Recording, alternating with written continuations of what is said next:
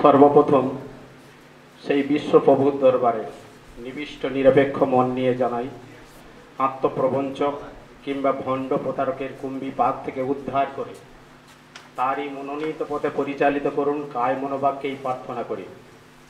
অতঃপর অধ্যকার সভার সভাপতি, সমবেত জ্ঞানী গুণী সদী মণ্ডলী, সবাইয়ের উপরে সেই বিশ্বপ্রভুর অপার করুণা বর্ষিত হোক। এই কামনা করে সবার শুরুতে জানাই, আমার একটা টপিকস বেঁধে দেওয়া হয়েছে, কিন্তু তবুও আমি একটু বলতে যাচ্ছি। মহাভারতের এই মিলন তীর্থে আমাদের ভিতরে মনোমালিন্য দেখা দিয়েছে।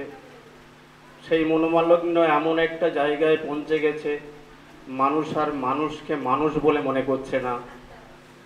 মানুষ পশুকে দেবতা জ্ঞানে পূজা করছে এবং সেই পূজা করতে গিয়ে দেবতা জ্ঞানে ভালোবাসতে গিয়ে মানুষকে খুন করছে।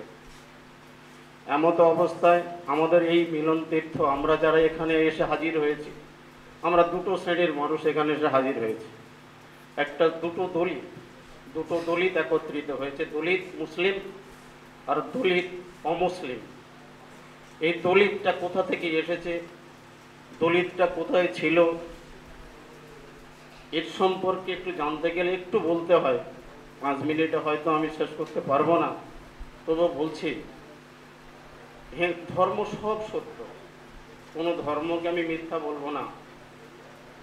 আমি গীতার বাণী দিয়ে একটা শুরু করছি। গীতা বলছে চলচ্চিত্তং চলত বিত্তং, চলত জীবন যৌবনম। চলাচল মেদং সর্বং কৃত্তিযস্য সজীব হে মানব তোমার ধন চলে যাবে, তোমার মন চলে যাবে, জীবন, যৌবন চলে যাবে। সব কিছু চলাচল করছে, যা আসে তা যায়। শুধু থাকবে তোমার মনোহিতকর কীর্তি। তুমি যে ভালো কাজগুলো করে গেছো, এই জিনিসটা তোমার থেকে যাবে। আজকের মানুষ আমরা মনুষ্যত্বহীন হয়ে পড়েছি। আমার কোরআন শরীফ বলছে এখানে মুসলমান বলা হয়নি, হিন্দু বলা হয়নি, জৈন বলা হয়নি, খ্রিস্টান বলা হয়নি। ঘোষণা দিয়ে দিল, হে পৃথিবীর মানুষ, তোমরা সবাই একটাই জাতি। আমার কোরআন শরীফের প্রথম ভাষা প্রথম ভাষা, একদম ফার্স্ট শুরু করছে, আলহামদুলিল্লাহ হিরব্বিল আলামিন। আলহামদুলিল্লাহ হিরব্বিল মুসলিমিন বলেনি। মুসলমানের আল্লাহর কথা বলেনি। মুসলমানের প্রভুর কথা বলা হয়নি। আলহামদুলিল্লাহ হিরব্বিল আলামিন। বিশ্বের সমস্ত যত জাতি আছে, যা কিছু আছে সমস্ত প্রভু হলো সেই আল্লাহ সেই ঈশ্বর সেই ভগবান সেই গড। সমস্ত মানুষের কথা, সেই প্রথম বাক্যটা তাকে নিয়ে এক সময় এই পশ্চিমবঙ্গের মাটিতে ওটের দোরগোড়ায় তোলা হয়েছিল। বড় দুঃখের ব্যাপার, বড় পরিতাপের ব্যাপার। ভারত স্বাধীন, ধর্মনিরপেক্ষ গণতন্ত্র রাষ্ট্র। কিন্তু সেই স্বাধীন ভারতবর্ষের বুকের পজরের উপরে এত অত্যাচার। শুধু অত্যাচার মানুষের উপর নয়, ধর্মগ্রন্থের উপরে সেখানে হয়েছিল। এটা করছে, কারা করছে? আমরা জানি, ভারত ভারত ভা মানে জ্যোতি, রথ মানে মগ্ন। জ্যোতি মগ্ন এই দেশ, প্রথম জ্যোতি। পৃথিবীর মাঝখানে যদি কোথাও এসে থাকে, সেটা হলো ভারতবর্ষ। প্রথম জ্যোতি, আমরা জানি আদম আর ইব আদম আর হাওয়া, আমরা মুসলমানরা বলি। আদম আর ইব সর্বপ্রথম যিনি সৃষ্টির শ্রেষ্ঠ মানে মানুষ, তিনি হলেন আদম। আদম মানে মানুষ সেটা এসেছিল বেদানা ফিলারদের। হিন্দ আমার রসুল বলছে, এই হিন্দের তাহানা নামক স্থানে তাকে প্রেরণ করা হয়েছিল। তাই এটার নাম হলো ভারত। সেই ভারত থেকে আমরা হিন্দুত্বে কোথায় চলে আসছি কোথাতে কবেতে আসলাম? ইতিহাসে ঐতিহাসিকরা তারা নানান রকম চিন্তা করছে। আমিও চিন্তা করি, যখন আর্যরা ভারতবর্ষের বাইরে থেকে আসলো, ভারতবর্ষের আর্যদের জানার নাম হলো বেদ আর্যরা কি করল? তারা ঠিক করল, ভারতবর্ষের মানুষ আর্যরা এরকম ভারতবর্ষের মানুষদের পরাজিত করে এখানটা এসে হাজির হলো। পরাজিত যখন করল, পরাজিত জাতি, একটা বিজিত বা মানে জাতির কাছে কি সে নত হয়ে থাকবে? সে হেরে গেল, সে সব সময় তাদের প্রধানত তাই এদেরকে বলা হলো দাস। ভারতবর্ষের দাস বলা হলো দাস মানে হিন্দু। প্রথম তৈরি হয়ে গেল ভারতবর্ষের একটা শ্রেণীকে তাদের বলা হলো দাস। আর এদের ওই মানে দাসত্ব স্বীকার করল না। বনে জঙ্গলে পালিয়ে গেল, তারা এদের উপর আবার অত্যাচার করতে হলো, করতে ইয়ে করতে, আক্রমণ করল। তাদেরকে বলা দস্যু, দুটো সেক্টরে ভাগ হয়ে গেল। একটা হলো দাস, ভারতবর্ষের আদি অধিবাসী, একটা হলো দাস আর একটা হলো দস্যু। এই দস্যুদের তারা বিভিন্ন টাইটেল দেওয়া হলো, কাউকে বলা হলো বাঘ, কাউকে বলা হলো নাট, কাউকে বলা হলো হাতি, কাউকে বলা হলো সিংহ। মানুষকে কোথায় পশুর থেকে নামিয়ে দিয়ে গেল? এরা ভাগ করে নিয়ে চিরস্থায়ী একটা বন্দোবস্ত করা নিয়ে নিল। তারা চিরস্থায়ী বন্দোবস্তের মাঝখান দিয়ে তারা বলো আমি ব্রাহ্মণ, আমি বোম্বার মুখ থেকে হয়েছি। সুতরাং আমি ব্রাহ্মণ, আমি পূজা অর্চনা করব। চিরস্থায়ী বন্দোবস্ত নিয়ে নিল। মানুষের অধিকার কোথায় কেড়ে নিয়ে নিচ্ছে দেখেনি ধর্মের বেড়াজাল দিয়ে। স্যার, আব্রাহাম লিঙ্কন তৎসময়ে আমেরিকার প্রেসিডেন্ট ছিলেন। উনি মনে হয় দাসত্বকতা দূর করার জন্য একটা আইন প্রয়োগ করেছিলেন। কিন্তু আজকের এই ভারতবর্ষের যে ধর্মের বেড়াজাল দিয়ে এক শ্রেণির মানুষকে দাসত্ব করানোর জন্য তারা কি করলেন? ধর্মের বেড়াজাল দিয়ে তারা চিরস্থায়ী একটা বন্দোবস্ত নিয়ে গেল। আমি ব্রাহ্মণ, আমি পূজা করব, তোমরা সবাই হই হই করে নাচবে আর ওই ঠাকুর তৈরি করবে, এছাড়া তোমাদের আর কোনো কিছু কাজ নেই। আর ও ক্ষত্রিয়, ওই যুদ্ধ বিগ্রহ করবে, ও বৈশ্য, ওরা ব্যবসা করবে, আর তোমরা ভারতবর্ষের আদি অধিবাসীরা তোমরা হলে শূদ্র। তোমরা হলে নিচে তোমরা হলে নিচ তোমরা হলে গোলাম।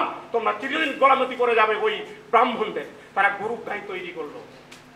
গুরুর আশ্রমে তারা যখন গিয়ে লেখাপড়া শেখাচ্ছে, ছাত্রদের লেখাপড়া শেখায়, প্রথম বিয়ে যেদিন করবে, সেই প্রথম বৈবাহিক সম্পর্ক যার সাথে তৈরি হবে, প্রথম গুরুর কাছে তাকে রাখতে হবে। ধর্মের বেড়াজাল দিয়ে, ধর্মের অনুশাসনের মধ্য দিয়ে ভারতবর্ষের আদি অধিবাসীদের তারা পশুর থেকে আরও তারা করতে শুরু করে দিল। আমার ভাই আমার বলতে বলেছে, একটা জিনিস যে ইসলামের তালাক কথা। There are three essential elements in the প্রিনম্বরাল marriage বলতে গেলে অনেক বলা হয়ে যাবে। There are three essential elements in the প্রিনর্মাল marriage প্রত্যেকটা বিয়ের মাঝখানে তিনটে করে মৌলিক উপাদান থাকবে। এক the gratification of sexual impulse তার শারীরিক যৌন সক্ষমতা। একটা হিজড়ে বিয়ে করার অধিকার তার নেই। হিজড়ে বিয়ে করতে পারে না। কেননা তার শারীরিক যৌন এর শক্তি নেই। Relation between husband and wife স্বামী স্ত্রীর মাঝখানে সম্পর্ক, যে কোনো কারণেই হোক না কেন তিক্ততা দেখা দিয়েছে।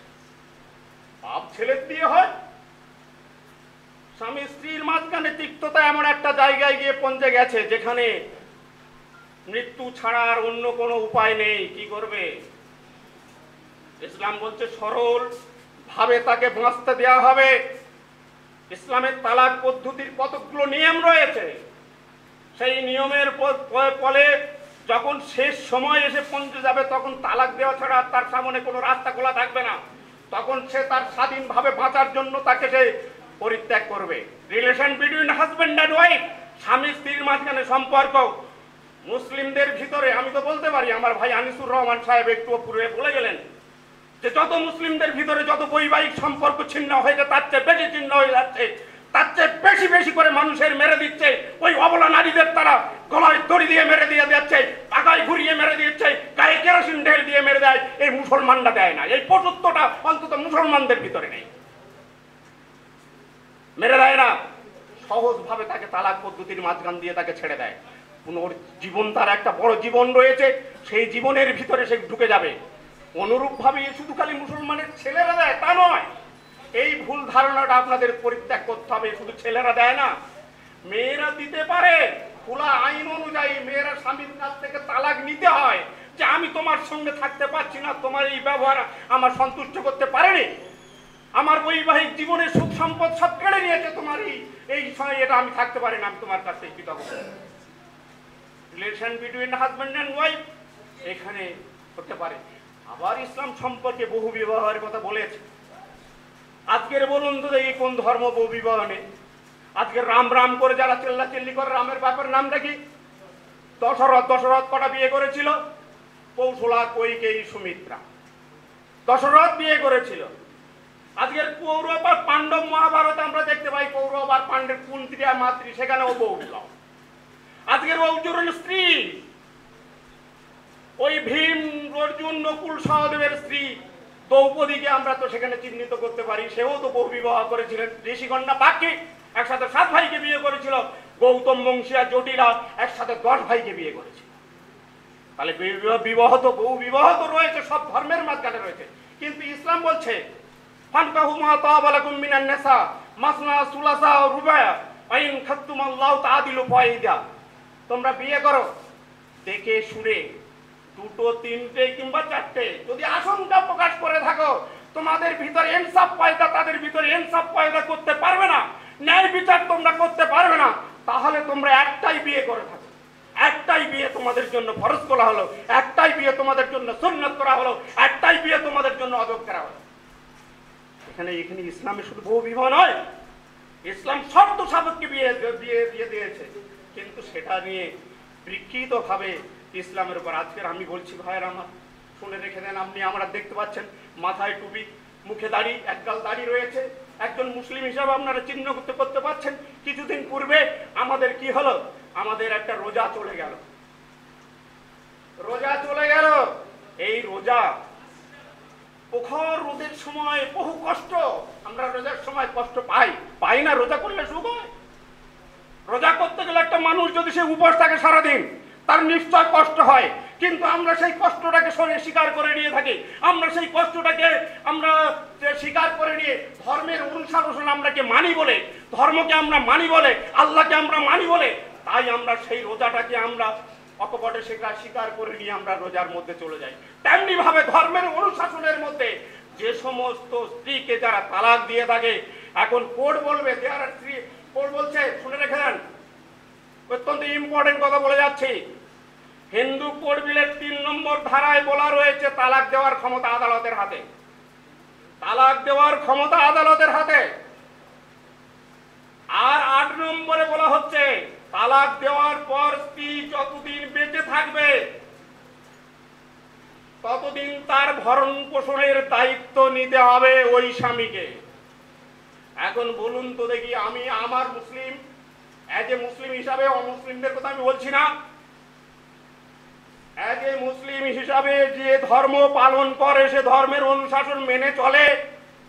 কোরআনের বিধান অনুযায়ী, হাদিসের বিধান অনুযায়ী আমি আমার স্ত্রীকে তালাক দিয়ে দিলাম। সেই স্ত্রী কোর্টে চলে গেল। কোর্টে গিয়ে বলল, কোর্ট বলছে, না, তোমার তালাক হবে না। বলুন তো, আমি এই মুসলিম হিসাবে আপনাদের সবাই বিবেকের কাছে প্রশ্ন রেখে দিয়ে যাই। আমি কি সেইটা মানতে পারব ওই আইনটা? কেউ জোর করে বলে থাকে, কোর্ট যদি আমার উপরে চাপিয়ে দিয়ে থাকে, আমি বলব আমার উপর অত্যাচার করা হচ্ছে, আমার উপরে উৎপীড়ন করা হচ্ছে, আমার উপরে নিপীড়ন করা হচ্ছে। এটা তাই নয় কি বলুন? আমি ধর্মপ্রাণ মানুষ, আমি ধর্ম নিয়ে চলি।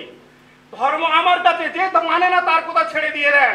কিন্তু আমি যেহেতু মানি, সুতরাং আমার উপরে অত্যাচার ছাড়া এটা কি বলতে পারি? আর একটা জিনিস শুনে রেখে দেন বলতে বলতে অনেক বেশি হয়ে যায়। নারীদের স্বাধীনতা কোথায় দিয়েছে? কে দিয়েছে? মনু সংহিতায় কি বলছে? মনু বলছে, নরকেশ্বর দ্বার নারী নারী হলো নরকের দুয়ার। স্বভাব এসু নারী নাং নর নামী দূষণ নারীর স্বভাব পুরুষকে দূষিত করা। নদী নাং চ নদী নাং চ নাং সশস্ত্র প্রাণী নাম। বিশ্বাস নৈব কর্তব্য শ্রী রাজকুলে সুজ নদী নগরদারি সিংহদারি জন্তু সশস্ত্র লোক, নারী আর রাজপুরুষকে তোমরা কেউ বিশ্বাস করো না। পকেইতি হি সুদা শ্রীনাং বৃত্তং ক্রৈব মেচব সমস্তাম নুরদান্তিপি সমস্তম তেজন্তিস। স্বভাব স্ত্রীনাং সৃষ্টি সপ্রসব সদহ দানং বিদিক্ষণাম তখন আলিও মনু কুরমন্তি গজিদা নারীদের নিয়ে যখন মনু এই রকম সমস্ত খারাপ কথা বলল, নারীদের নিয়ে যখন হত্যা করা হতো, স্বামীর চিতায় তাদেরকে পুড়িয়ে মারা হতো, শরৎচন্দ্র চট্টোপাধ্যায় নারীর মূল্য বইটা পড়ে নেবেন। নারীর মূল্য পুস্তকে লিখছে, আমি সমস্ত ধর্মগ্রন্থগুলোকে তন্ন তন্ন করে দেখেছি। কোথাও নারীর স্বাধীনতা দেওয়ানি, একমাত্র ইসলাম ছাড়া কোথাও নারীর স্বাধীনতা দেওয়ানি। একজন ব্রাহ্মণ সন্তান তিনি বলে যাচ্ছেন, ওই নারী যে স্বামী মরে গেছে, তার ওই চিতায় পুড়িয়ে মারার জন্য একে নিয়ে যাওয়া হতো। সে কিছুতেই যেতে চাইতো না। তৎকালীন সময়ে ওই রামমোহন বলুন আর ঈশ্বরচন্দ্র বিদ্যাসাগর বলুন, তার বহু পূর্বেতে ভারতবর্ষের এই আইন, বহুবিবাহ আইন, ভারতবর্ষের এই সতীদাহ আইনটাকে তুলে মুসলাম সব সময়ের জন্য চিন্তা হয়েছিল, দেখিয়ে দিচ্ছিল। হে ভারতবর্ষের নারী সমাজ, হে ভারতবর্ষের সমাজ তোমরা দেখে নাও ইসলামের কাছ থেকে, তোমরা শিক্ষা নিয়ে নাও। এইটাই কোনোদিন হতে পারে না। এটা মানুষের ধর্ম হতে পারে না। যে ধর্ম মানুষকে উৎপীড়ন করে, মানুষকে মেরে দিয়ে স্বামীর চিতায় পুড়িয়ে মারে, ওই নারীটা কিছুতেই যেতে চাইতো না। শরৎচন্দ্র চট্টোপাধ্যায় বলছে, তাতে ধুদ্র পাতার রস খাইয়ে দেওয়া হতো। সে কখনো হাসতো, কখনো কাঁদতো। উম্মাতিনীর মতো যখন স্বামীর চিতায় তাকে তুলে দেওয়া হতো, সেই সময় যখন গায়ে ওই আগুন লেগে যেত তার করুণ আত্মনাথ সে পৃথিবীর মানুষকে জানাতো পৃথিবীর মানুষ, আমি কি অপরাধ করেছি, আমি কি অপরাধ করেছি, আমি কি অপরাধ করেছি? আমাকে কেন মারা হচ্ছে? তার সেই করুণ আওয়াজ যাতে পৃথিবীর মানুষ শুনতে না পায়, তার জন্য বাদ্যযন্ত্র বাজারণ ব্যবস্থা ছিল। এইটাই তো হলো তাদের সেই ধর্ম। কিন্তু এটা ধর্ম নয়। যদা যদা হি ধর্মস্য গ্লানি ভবতি ভারত, অভ্যুত্থানং অধর্মস্য তদাত্মনাংশিজম মহম পরিত্রাণয় সদিনং বিনাশস্য দুষ্কৃতাম ধর্ম সংস্থাপনার্থা সম্ভবামি যুগে যুগে। এখানে গীতায় বলছে, মহাভারতের মধ্যে বলা হচ্ছে, যখন ধর্মের মাঝখানে গ্লানি ঢুকে যাবে, অধর্ম এসে যখন বিরাজ করতে শুরু করে দেবে, সেই সময় সাধুদের পরিত্রাণ করার জন্য, দুষ্কৃতদের দমন করার জন্য আল্লাহ পাক যুগে যুগে নবীদের পাঠিয়ে সেই নবীটাকে সন্ধান করতে হবে। ইসলামের শুধু দোষারোপ দিলে হবে না। ইসলামের অভয় বাণীগুলো আপনারা ভালো করে, আমার ভাই আনিসুর রহমান বলছিল, যারা জানেন না তারা ভালো করে জানুন, ভালো করে জানুন, আর বেশি বেশি করে জানুন। আমি এখানে সবাইকে আমার আন্তরিক অভিনন্দন জানিয়ে আমি আমার বক্তব্য এখানে সমাপ্ত করলাম। জয় হিন্দ। ধন্যবাদ আব্দুল ভাই সাহেবকে। এবার আমি ম্যাডাম সুচেতা গোলদারকে ডাকছি কিছু বলার জন্য। উনি বলবেন, দলিত ও মুসলিমদের ঐক্য সম্পর্কে। জয় ভীম। সবাইকে শ্রদ্ধা জানিয়ে আমার সামান্য কিছু কথা বলা আজকে এই প্রকৃতি সেবা আশ্রমে যে সেমিনারের আয়োজন হয়েছে হিন্দু মুসলিম নিয়ে, খুবই ভালো ব্যাপার। তো আলোচ্য বিষয় বহুদিক। আজকে আমি বর্তমান ভারতবর্ষের যে দলিত মুসলিম নিয়ে যে সমস্যা তৈরি হয়েছে, অর্থাৎ সমস্যাটা ওই মনুবাদী সরকারের সমস্যা, আমাদের নয়। আমরা দলিত মুসলিম ঐক্য কেন বলছি? কারণ আমরা বিগত কয়েকজনের মুখ থেকেই শুনতে পেয়েছি, আমাদের পূর্ব ইতিহাস। আমরা থেকে এসেছি? আমরা কে- কি কে ধর্ম গ্রহণ করেছি? আমরা কীভাবে চলছি? আমাদের চলার পথ কেমন? প্র- প্র- প্রত্যেকটা ব্যাপার নিয়ে আমরা আলোচনা করেছি। আমি সেই প্রসঙ্গে আর নতুন করে যাব না। আমি সবাইকে এখানে একটাই প্রশ্ন করব। আমরা কি ধর্মটাকে আলাদা ভাবতে পারি? আমরা কি সেটাকে বাদ দিয়ে মানবিকতা যে শব্দটা, মানব ধর্ম সেটা কি আমরা ব্যবহার করতে পারি? যদি তাই পারি, তাহলে আজকে আমরা কেন ধর্ম নিয়ে মাতামাতি করব? যে যার ধর্ম পালন করছেন করুন। ঠিক আছে। তা নিয়ে বাড়াবাড়ি করারও প্রয়োজনীয়তা নেই। সব কিছুর মূলে দেখবেন, আমরা যে যাই করতে যাচ্ছি না কেন, ওই ধর্মটা এসে কিন্তু আগে আমাদের বাধা দিচ্ছে। তাই এই ধর্মটাকে যতক্ষণ না আমরা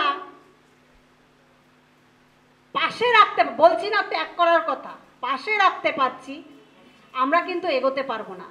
আমরা মুখে বলছি, দলিত মুসলিম ঐক্য। আমরা কি সত্যি বাড়িতে সেটা ভাবছি? ভাবতে কি পারছি? আমার বাড়িতে আমি কিছু মানি না। কোনো ধর্ম মানি না আমি। আমি মানি আমার সমাজের, আমার আমার মানুষের জন্য যারা ভেবেছে, তাদের কিছু ছবি রাখি, তাদের জন্মদিন, মৃত্যুদিন হলে ফুলের মালা দিই, ব্যাস। কিন্তু আলাদা করে কোনো ধর্ম পালন করার জন্য মানুষ মরে যায় এমন কিছু নয়, এমন, এমন- কোনো মানে ব্যাপার নয় কিন্তু। ওটা ছাড়াও বেঁচে থাকা যায় এবং খুব ভালোভাবে বেঁচে থাকা যায়। আজকে আমরা দলিত মুসলিম এক জায়গায় হওয়ার কথা বলছি। কেন বলতে হবে আজকে এই কথাটা? আমরা যদি একই সমাজের মানুষ হই, আমাদের রক্তের গ্রুপ যদি একই থাকে, আমাদের ডিএনএ যদি একই থাকে, তাহলে আমরা এত হাহাকার করছি কেন? কেন আমরা বিভাজন করছি? হিন্দু, মুসলিম, খ্রিস্টান, বৌদ্ধ, কেন বিভাজনটা করছি আমরা? হ্যাঁ কোনো কারণবশত মানুষ বেঁচে থাকার জন্য ধর্ম অবলম্বন করেছে। সেই ধর্ম আমরা যখন শিক্ষিত সমাজ আমরা বুঝতে পারছি, আমাদের মানুষেরা যখন পুঁথি পুস্তক পড়ে, গবেষণা করে সব কিছু জানতে পারছে, তবে কেন সেই গোড়ামির মধ্যে আমরা থাকব? সেটা থেকে একটু বাইরে বেরোই না আমরা। বেরিয়ে দেখুন না, একটা সমাজটাকে আমরা একটু পাল্টাতে পারি কিনা। দেবে না, যদিও দেবে না এটা করতে। কারণ আমা, আমি মতুয়া সমাজে বিলং করি। সেই মতুয়া সমাজ মুসলিম মানবে না। আপনাদের বোধ মোটামুটি সবাই জানেন এটা। মুসলিম কেন? তারা দেশ দেশ ত্যাগ করে এসেছে। মুসলিমদের কারণে। তাদের বদ্ধমূল এটা একটা ধারণা। আর ওখান থেকে যারা আসছে, সব ওই আরএসএস এর খোয়ারে গিয়ে যুক্ত হচ্ছে কিনা মুসলিমদের ধ্বংস করতে হবে।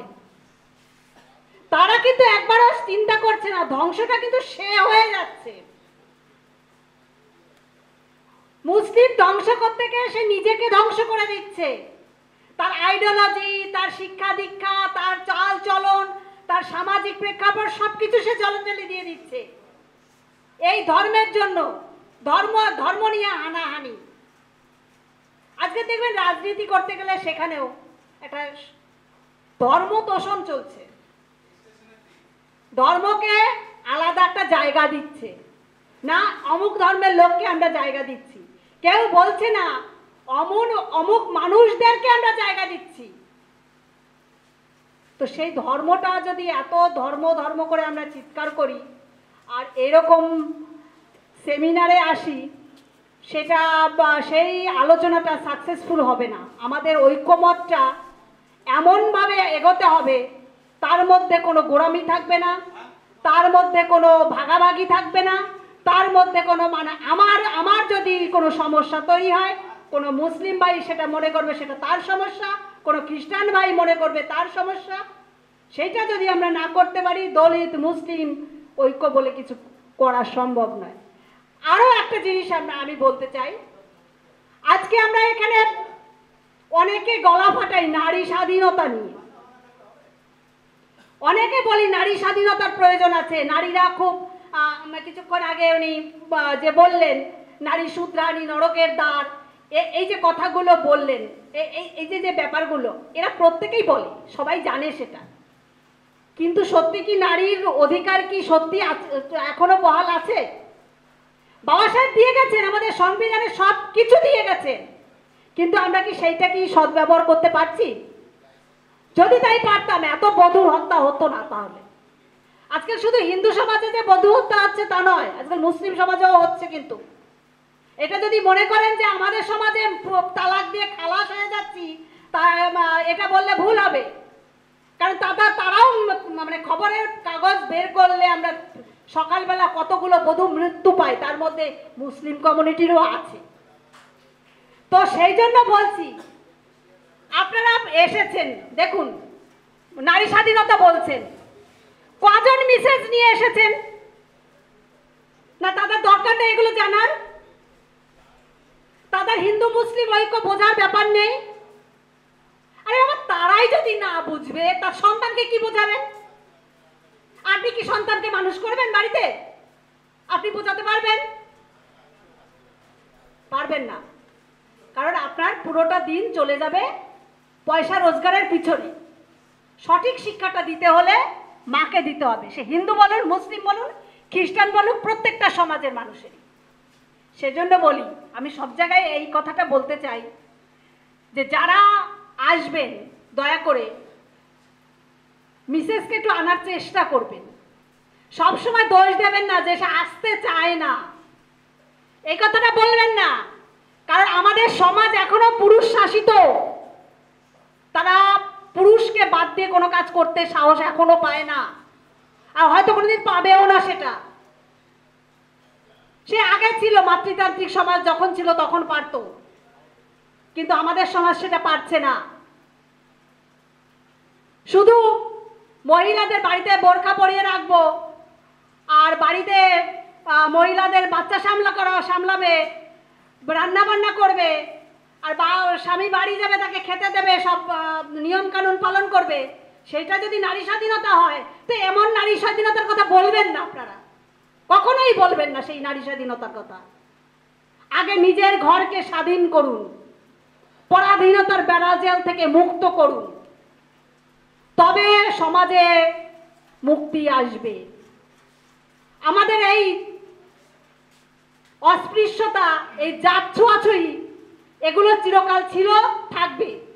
তার মধ্যে দিয়ে আমাদেরকে ঐক্য মঞ্চ করে ঐক্য জায়গা তৈরি করে আমাদের কিছু মুষ্টিমেয় মানুষ যাতে এগিয়ে আসতে পারি এবং সমাজকে একটা বার্তা দিতে পারি যে আমরা তোমাদের পিছনে আছি, থাকব এবং কাজ করব। সমাজকে কিছুটা যদি আমরা পরিবর্তন করতে পারি, চেষ্টা থাকলে উপায় পাওয়া যায়। অজুহাত নয়, আমরা বড্ড বেশি অজুহাত দিতে ভালোবাসি। অজুহাতটা বাদ দিন, আমরা প্রত্যেকে প্রত্যেকের হাত ধরি। আমি কি খাব? গরুর মাংস খাব না কচ্ছপের মাংস খাব না খাসির মাংস খাব না শুয়োরের মাংস খাব? সে সেটা দেওয়ার অধিকার কারণেই আমার যদি খেতে ভালো লাগে, সে খাবার যদি সুস্বাদু হয়, আমি অবশ্যই খাব। সেজন্য কাউকে আমার কৈফেত দেবো না। তার জন্য আমার জাত গেল, না জাত এলো, না নতুন কিছু অ্যাড হলো, এ- নিয়ে আমার আমার ভাবনার কিছু নাই। কেন মৃত্যুর পরে মানুষের কিছু থাকে না। ও যতই বলি স্বর্গ নরক আর আহ, যাই বলি না কেন ও কিছু নেই। যা ভোগ করার আপনাকে এখানে ভোগ করতে হবে। ভালো হলে এখানে খারাপ হলেও এইখানে। আপনারা প্রত্যেকেই বিজ্ঞান পড়েন প্রত্যেকেই জানেন মৃত্যুর পরে আত্মা বলে কিছু থাকে না পঞ্চভূতে লীন হয়ে যায় সেটা প্রত্যেকেরই জানা উচিত এটা। কারণ মানুষ একটু শিখেছে এখন। এখন সেই মানুষ দলিত মানুষ আর সেই অশিক্ষার অতটাও অশিক্ষায় নেই। কিছুটা হলেও জ্ঞান তাদের মধ্যে এসেছে। তো আমি বলছি, আবার বলব, বেশি সময় আমি নেব না। কেননা আরও আছে বক্তা, আপনারা শুধু পুরুষরা দলিত মুসলিম ঐক্য করবেন না, মহিলাদেরকেও সাথে আনুন। তাদের কষ্টের কথা যদি সত্যি ভাবেন, তাদের মতামতেরও মর্যাদা দিন এবং আমরা যখন মঞ্চে আসতে পারছি, আমরা যখন শোভনীয়ভাবে আসতে পারছি, অশোভনীয়। নিশ্চয়ই আমরা মঞ্চে কখনো অশোভনীয় হয়ে আসি না। শোভনীয় পোশাক পরেই আসি, অতএব শুধু যে আমার বোরখা পরেই আসতে হবে, বোরখা আলাদা দিয়ে মুখ ঢেকে দিলেই পুরুষ জাতি খারাপ হয়ে যাবে, আর নারীকে তার মানে এর থেকে অপমানিত হওয়ার আর কিছু আছে বলে তো আমার মনে হয় না। যে বোরখা খুললেই নারী পুরুষ একদম দূষিত হয়ে যাবে। এ হয় কখনো?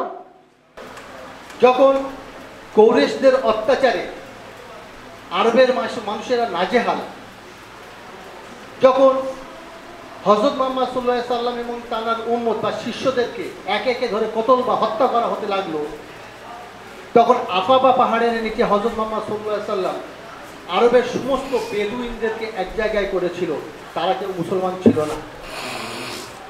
তাদের সবাইকে এক জায়গায় করে তারা হজরত মোহাম্মদ সাল্লাহ সাল্লাম ওখানে একটাই কথা বলেছিল যে অত্যাচারী শাসকের বিরুদ্ধে আমাদের লড়াই হবে। আর সেই লড়াই করার জন্য আমাদের কাউকে সালাম আলাইকুমও বলার দরকার নেই, আর নমস্কারও বলার দরকার নেই। নাম্বার দুই, যখন হোদাই বিরাই সন্ধি হয়েছিল, সেই কৌরেশ জাতিরা, তারা ওই চিঠিটা সন্ধির যে পত্র লেখা হয়েছিল, তার উপরে লেখা ছিল বিসমিল্লাহ রহমানি রহিম। তারপর বক্তব্য ছিল শেষে ছিল হজরত মোহাম্মদ সাল্লাহ সাল্লাম কৌরিশের সর্দার বলেছিল বিসমিল্লাহ রহমানির রহিম। এ শব্দটার মানে কি? আমরা এটা তো মানি না। অতএব এ কথাটাকে বাদ দিন। এ কথাটাকে বাদ দিন। আর নিচে যে লেখা আছে হজরত মোহাম্মদ সাল্লাহ সাল্লাম, আমি তো ওনাকে নবী বলে মানি না। অতএব ওটাও কেউ কেটে বাদ দিন। হজরত মোহাম্মদ সাল্লাহ সাল্লাম হজরত আলী রাজতাল্লাহ আনুকে বললেন, আলী, ওটাকে কেটে বাদ দাও। হজরত আলী রাজতাল্লাহ আনু বললেন যে, ভাই ওরা না মানে না মানে আমি তো মানি। আমি কেটে বাদ দিতে পারি না। হজরত মোহাম্মদ সাল্লাহ সাল্লাম বললেন যে, কোথায় লেখা আছে? আমাকে দেয় কারণ উনি ছিলেন উম্মি, নিরক্ষর ব্যক্তি। উনি লেখাপড়া জানতেন না। তাই উনি বললেন, কোথায় লেখা আছে? দেখাও। সেই জায়গাটা আমি কেটে পারব অর্থাৎ একটা বৃহত্তম আন্দোলনের জন্য, একটা যখন জাতীয় স্তরে লড়াইয়ের জন্য ইসলাম এখানে অনুমোদন দিচ্ছে, ধর্মটাকে কিছুটা হলেও ব্যাকসাইডে রাখো যেমন এটা ইসলামকে শিক্ষা দিচ্ছে, আশা করব অইসলামিক যারা এখানে আছে, যারা অন্যান্য মতম বলি তারাও তাদের চিন্তা ভাবনাটাকে পেছনে রাখবে। তাহলে একটা বৃহত্তম আন্দোলন সম্ভব হবে যেটা আকাবা পাহাড়ের নিচ দিয়ে সম্ভব হয়েছিল। আর এই বিষয়ে আমাদের নির্দেশ আছে। আশা করব আপনারাও সেই জিনিসটা ফলো করবেন। এখানে কথা বলতে আগে অনেক জায়গায় আমাদেরকে নাজেহাল হতে হয়। বেশিরভাগ এখানে আলোচনাটা হয়েছিল মুসলিমদের নিয়ে বেশিটা আলোচনা হচ্ছে। তার কারণ হলো এই যে যাদেরকে আমরা দলিত বলে মনে করি, তারা কিন্তু ব্রাহ্মণ্যবাদীর থেকে এক কাঠি বেশি থাকে। তারা জানে তাদের দেবী দুর্গা, কালী, সরস্বতী ইত্যাদি ইত্যাদি, এগুলো আর্য। যখন দুর্গা পুজো হয়, সবচেয়ে বেশি নাচে কিন্তু এরাই। এটা অস্বীকার করার জায়গা। ঠিক তদ্রুপ আজ এখানে একটা মিলন সভা করার জন্য আমরা যে প্রোগ্রাম বা চেষ্টা নিয়েছি, যারা এখানে আসবে, যারা এখানে এসেছে, সেই সমস্ত মানুষ কারা? যারা দীর্ঘদিন ধরে ভুল ইতিহাসের উপরে লালিত পালিত হয়েছে, সহজেই তারা একে অপরকে মেনে নেবে না। তার কারণ, যে বাচ্চা বয়স দিয়ে আমাদেরকে স্কুল পাঠশালায় পড়ানো পাঠানো হয়েছে সেখানে আমাদের যা পড়ানো হয়েছে সেটা ছিল সম্পূর্ণরূপে একটা বিদ্বেষী মার্কা শিক্ষা ব্যবস্থা। আপনার সন্তানকে যদি আপনি আজকের পাঠশালায় পাঠান বা স্কুলে পাঠান, প্রাথমিক স্তরে তার হাতে যে বইটা দেওয়া হবে সেই বইটার নাম হলো সহজ পাঠ। সেই বইয়ের একটা পৃষ্ঠায় লেখা আছে, আমি রোজ সকাল হলে যাই শহরের দিকে চলে তমিস মিয়ার গরুর গাড়ি চড়ে। কেন লেখা থাকে? তমিজ মিয়ার নামটা হলো মুসলিম নাম। সে চালায় গরুর গাড়ি। আর গরুর গাড়ি যে চালায়, তাকে গাড়োয়ান বলা হয়। অর্থাৎ মুসলিমরা গাড়োয়ান এরকম একটা কথা যেন পেছন থেকে বলা হচ্ছে। ওই বই দ্বিতীয় পৃষ্ঠায় লেখা আছে, অদিত্যবাবু বড় ভালো লোক দান দেন পূর্ণ কাজে তার মন। কেন এরকম বিদ্বেষীমূলক কথা? এখানে যেমন লেখা আছে, আমি রোজ সকাল হলে জয় শহরের দিকে চলে তমিস মিয়ার গরুর গাড়ি চলে। তাহলে পরের পৃষ্ঠায় অবশ্যই লেখা ছিল, রহিম বাবু বড় ভালো লোক, দান, দেন পূর্ণ কাজে তার মন। আর সেটাই যথার্থ হতো, কারণ রহিম বাবুরা জাকাত দেয় ফেদা দেয়, হাসর দেয়, ওষুধ দেয় কাপ্পারা দেয় অদিত্য বাবুরা তো দেয় না। সেই লেখাপড়ায় আমরা বড় হয়েছি তারপরের ধাপে গেছি, আরও আমাদেরকে শিক্ষা দেওয়া হয়েছে। কি দেওয়া হয়েছে? আব্দুল মাজির গল্প ছুটালো তার দাড়ি মাথা তার নেড়া চিটিংবাজির গল্প করে। আর রাম মনে ফুল পারে, লাল গায়ে তার লাল শাল হাতে তার সাজি জবা ফুল তোলে, বেল ফুল তোলে। এইভাবেই তো আমরা বড়। তাই সহজেই আমরা যখন একজন কথা বলে আরেকজন আমরা বিরোধিতায় নেমে আসি। আমাদেরকে বুঝতে হবে যে মূল নিবাসী মানুষ যারা আমরা আমরা যারা মুসলিম এদেশের, আমরা কেউ আরব থেকে ইরাক থেকে, ইরান থেকে, কুয়েত থেকে কোথাও দিয়ে আসিনি। আমরা জন্মসূত্রে ভারতীয়, পৈতৃক সূত্রে ভারতীয়, উত্তরাধিকারী সূত্রে ভারতীয়। কুলীন ব্রাহ্মণদের অত্যাচারে অত্যাচারিত হয়ে আমাদের পূর্বপুরুষেরা তারা ধর্মান্তরিত হয়ে ইসলাম ধর্ম গ্রহণ করেছিল। রক্তের সূত্রে আমরা এই এই দেশের দলিত নিম্নবর্ণের মানুষের জাত ভাই এবং তাদের সম্পর্কিত ভাই। এই সত্য কথাটা আমাদেরকে মেনে নিতে হবে এবং সেই বিষয়ে আমাদেরকে লড়াই এবং আন্দোলন করতে হবে। আমার সাবজেক্ট যদিও ছিল অন্য কথা বলা, কিন্তু এখানে পরিস্থিতি দেখে আমার কথাটাকে পাল্টে দিতে হলো, আমার অন্য কথা আসতে হলো। হয়তো আপনাদের বিরক্তির কারণ হচ্ছে আমি। কিন্তু ভাই, যে লড়াই, যে আন্দোলন আমাদেরকে করতে হবে সেটা হলো একটা বৃহত্তম শক্তির বিরুদ্ধে। যে কৌরেশ জাতি যেমন আরবের মধ্যে তাদের যে শক্তি ছিল, তারা সমস্ত ক্ষমতার মস্তকে তারা বসেছিল তাদের হাতে অর্থ ছিল, তাদের হাতে রাজ ক্ষমতা ছিল, তাদের হাতে শিক্ষা ছিল, তাদের সব কিছু ছিল। পক্ষান্তরে তাদের বিরুদ্ধে যারা লড়াই করেছিল, তারা ছিল হতদরিদ্র গরিব, নিরক্ষর মানুষ। আজ আমাদের অবস্থাও তাই। আমরা যদি এখনও ধর্ম নিয়ে হানাহানি, ভেদাভেদ করি তাহলে কিন্তু আমরা সংঘবদ্ধ হতে পারব না, আমরা ওই আর্য বাহিনীর বিরুদ্ধে লড়াই করতে পারব না। যেটা সেই আরবের বুকে আপনার কৌরেশ জাতির বিরুদ্ধে তারা লড়াই করেছিল, তারা ধর্মটাকে পেছনে রেখে দিয়ে তারা লড়াই করেছিল। আমাদেরকে সেইভাবে এক সূত্রে হতে হবে। যাই হোক, এই কথা বলে আমার সংক্ষিপ্ত বক্তব্য এখানেই শেষ করছি। জয় ভীম, জয় ভারত।